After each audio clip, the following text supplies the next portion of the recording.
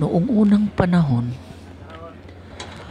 panahon to sa imong uyuan nga si Sinimahong sa usa ka lungsod sa Suminot sa probinsya sa Zamboanga del Sur. Na ay isa ka estudyante nga nag-eskwela dito sa elementary nga nganlan og Suminot Central Elementary School. Na isa ka estudyante nga nganlan og si Kuritoy.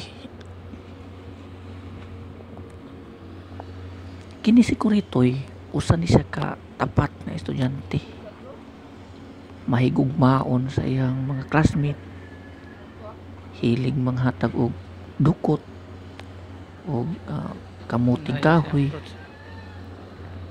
Sa sunod kung kamuti kamuti. Kung kahoy kahoy. Tagay nalipay niya ng panahon na.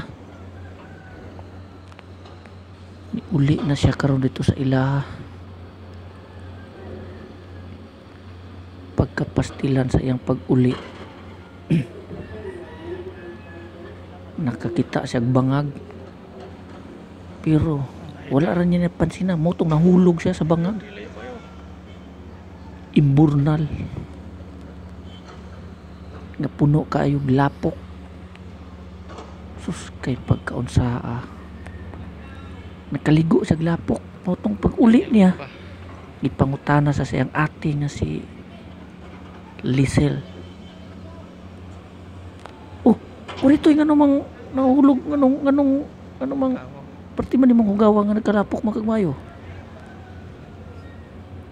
Ingon si Kuritoy.